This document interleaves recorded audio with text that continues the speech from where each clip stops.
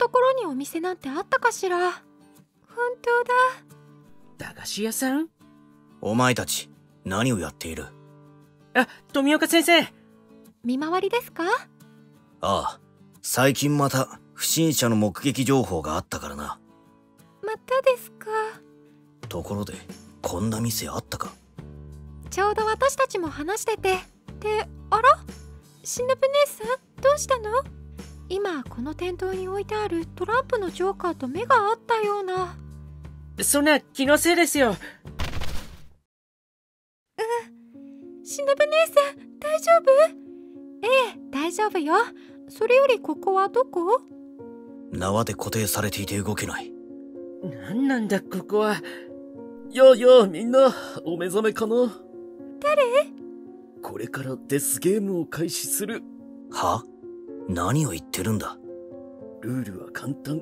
笑うと死ぬ。以上。笑うと死ぬ？どういう原理で？いやー我ながら単純なルールで分かりやすいと思うんだけどな。もちろん強制参加だよ。そんな。こんなもので死ぬわけがないだろうが。ありゃりゃりゃ全然信じていないようだね。仕方ない。これを見るんだ。な何ですか？急にスクリーンが降りてきましたが。映像が映し出された。あれは天ぷらを加えた伊之助？待て。とそれを追いかける富岡先生？あれは先日の体育の授業の時。くらあエビの天ぷらの尾を投げつけた。おい炭治郎なんだ？あ頭から水が。笑ってもいいのは3回まで。仏の顔も3度までって言うだろう。使い方間違っていますけど。まあまあ細かいことは気にしない。3回までは今のような罰ゲームだけど4回目は。さかそれが死ぬっていうルール？そうそう大正解。それじゃあ健闘祈るよ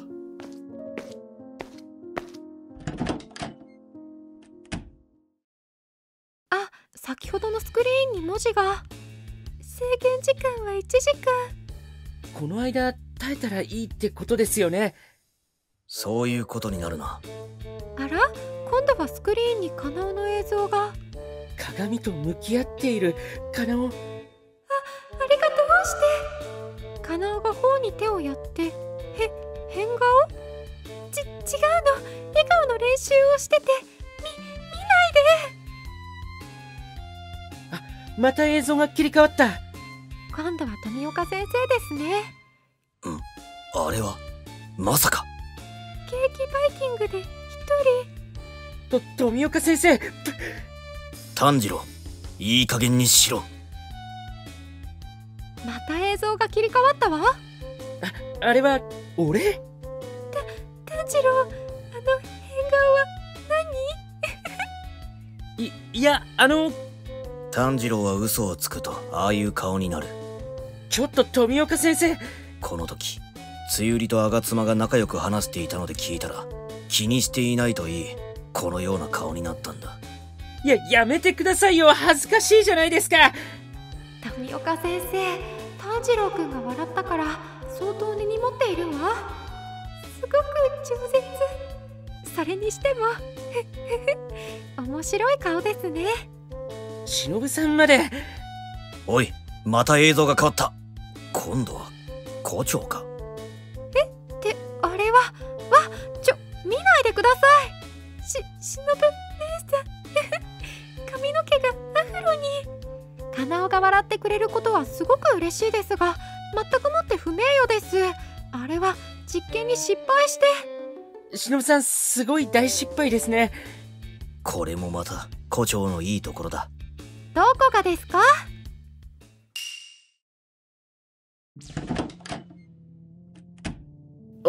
まだ生き残ってたのか。残念残念。だがあと10分だ。たかが10分。されど10分。さあこれに耐えられるかな？近づかないで。耳に息を吹きかけないで。くくすぐった。いまずい胡蝶は一回でも笑ったら。しのぶ姉さんなんてせこいんだ。だけど、縄で拘束されてて動けなくて。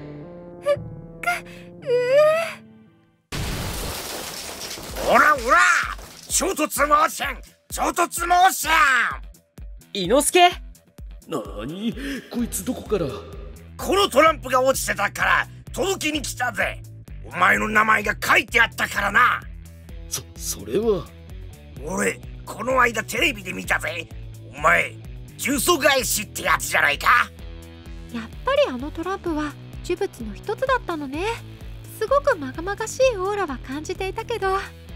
ほらよこのジョーカーに名前が書いてあった。まずい。目があった。くそ退散だ